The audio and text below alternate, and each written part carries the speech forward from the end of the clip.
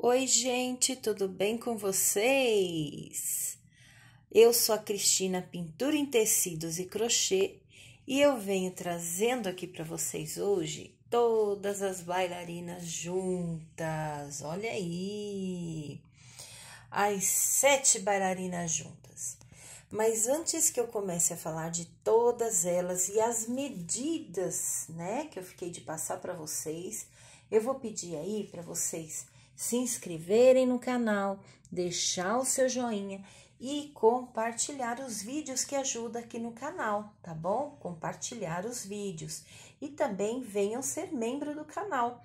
Por R$ 7,99 mensais, vocês vão ter outros vídeos mais, muitos, muitas coisas mais lá dentro do Seja Membro, tá bom? Tem várias bonequinhas lá para vocês, ok, gente? Então, é, se vocês também quiserem comprar minhas apostilas de riscos de bonecas, eu tenho três apostilas, a número 1 com 30, com 25 riscos, a número 2 com 45 riscos e a número 3 com 35 riscos, totalizando 105 riscos de bonecas novas no tamanho certinho, já prontinha para vocês estarem pintando e trabalhando com bonecas novas aí para as clientes de vocês. E também querendo comprar meus panos de prato, é só entrar na descrição do vídeo para comprar as apostilas, comprar meus panos de prato, tanto com crochê ou sem crochê. Eu vendo também. Eu vou deixar aí na descrição do vídeo meu telefone, tá? Meu WhatsApp. É só me adicionar. Tá bom, gente? Dados recadinhos, vamos lá. Então, estou trazendo para vocês aqui todas as bailarinas, tá? Que eu ensinei aqui no meu canal por esses dias, tá? Foram sete bailarinas, totalizando aí uma coleçãozinha para uma semaninha, tá? Aqui eu fiz as sainhas de crochê delas, que já também ensinei aqui no canal, tá? Aí já ensinei junto com as bailarinas, eu já ensinei essa sainha super simples com restinho de linha vocês fazem essas saias, tá bom? Olha esta aqui com cabelo diferente, tá tudo aí no canal. Entra ali onde está escrito Cristina Pintura em Tecidos e Crochê e vai em vídeos. Olha o cabelo desta aqui também que diferente. Vai ali em vídeos que vocês vão ver todos os vídeos. Esta também é diferente, ó.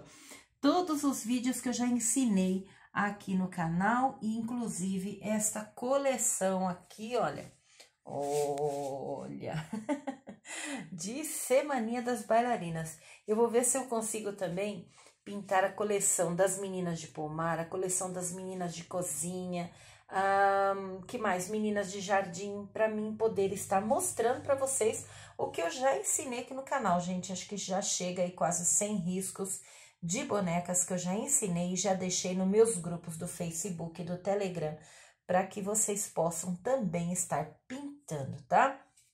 Então, aqui eu usei tinta puff, ó. Tinta puff é tudo que eu tenho que passar ainda, ó.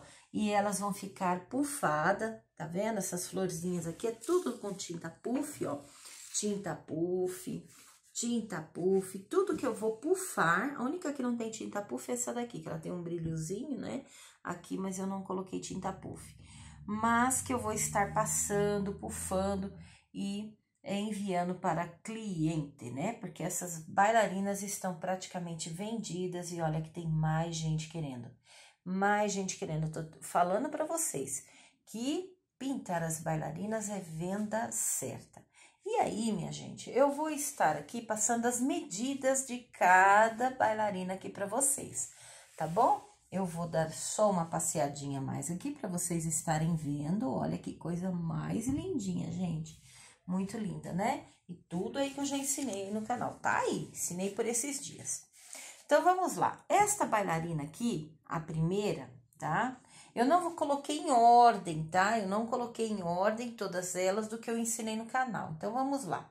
Vocês vão aí no canal e vão vendo, né, os vídeos aí que eu ensinei e aí, é, vocês vão ter é, mais ou menos uma base aí das medidas, tá?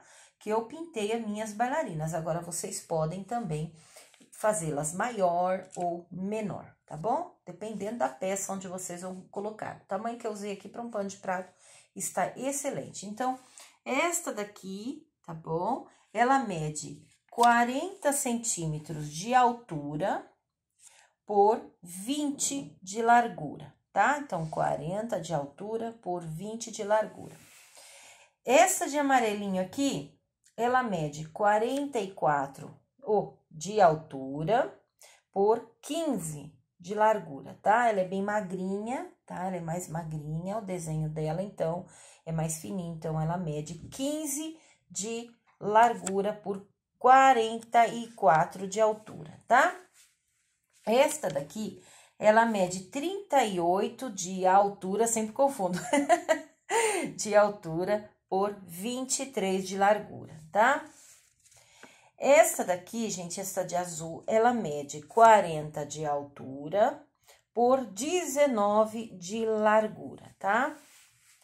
Esta próxima aqui, ela mede 39 de altura por 27 de largura, tá? Esta verdinha aqui, ela mede 38 de altura por 20 de largura.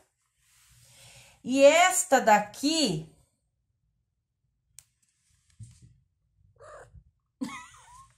Não pode faltar ela, né, Mabel? E esta daqui, ela mede 42 de altura por 26 de largura, tá? Eu pedi tanto pra Mabel não vir aqui em cima, gente, mas ó... não tem jeito, né? Ela quer ficar aí. Então, ó, está aqui as medidas tudo certinho das bailarinas. Vou deixar aí, tá bom? Ah, não vou deixar na descrição do vídeo, não. Vocês vão ter que assistir o vídeo para saber. a largura das bailarinas, largura e altura, tá bom? Vocês têm que assistir o vídeo para saber, porque não adianta colocar, oh, a não ser que eu coloque aí a vermelha mede tanto, a amarela, não, mas vocês vão ter que assistir o vídeo. Assistam o vídeo para vocês saberem as medidas da bailarina. Não vou colocar na descrição do vídeo, vocês vão ter que assistir, tá bom, gente? vou dar mais uma passadinha aqui, é um videozinho rápido para mostrar para vocês essa linda coleção de bailarinas, olha aí. Muito linda mesmo que elas ficaram e elas ficam maravilhosas. Se vocês pintarem, me marquem lá no meu Facebook, no meu grupo, tá? Do Telegram, do Facebook. Mostrem para mim o trabalho de vocês com as bonecas que eu ensino aqui no meu canal, com as bailarinas e vamos trabalhar, vamos vender muitas bonequinhas, que é o meu intuito aqui com vocês, tá bom? Ensinando para vocês. Meu canal aqui, ele ensina, mostra tudo, não esconde nada. Tá bom, gente? Então é isso. É um vídeo rápido, só mostrando para vocês as medidas das bailarinas e mostrando para vocês como elas ficam lindas. Sainha que eu já ensinei no canal, sainha com restinho de linha, gente, é, olha, é o restinho do restinho da linha. é muito pouca linha que você usa, tá? Então, as bailarinas são perfeitas para fazer para quem tem pouquinha linha. Os barradinhos também, aqui ainda falta fazer o barrado, algumas já está pronta, ou, opa, já está pronta. Então, aí é só colocar um barradinho de crochê pequenininho aqui, não precisa exagerar também no barrado, né? Caso você não goste de fazer um barrado muito grande. E as sainhas são pequenininhas, então essas bonequinhas são ideais para quem não tem muita linha, né? Que não está conseguindo comprar muita linha, que tem restinho de linha. E também para quem é, assim, não gosta de fazer crochê muito grande, saias muito grandes, né, gente? Então, essas saídas são ideais para essas bonequinhas são ideais para vocês colocarem. Pode também fazer sainhas de tule, vocês podem fazer sainhas de tecido, fiquem à vontade, tá? Pintem as bailarinas. Tá bom, minha gente? Então, um videozinho rápido só para mostrar as medidas e a riqueza que ficam as bailarinas. Olha aí elas todas. E vem passando também uma outra bailarina ali. Olha aí.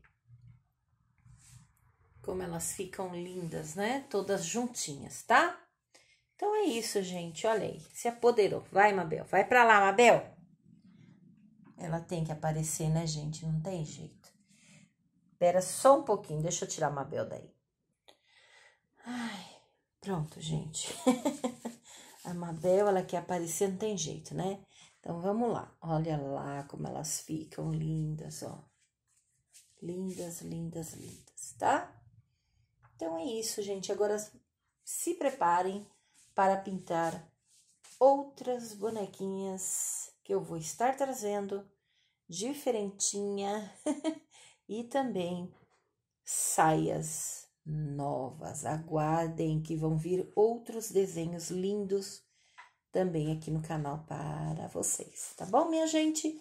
Um beijo, fiquem com Deus e até o próximo vídeo. Tchau, tchau.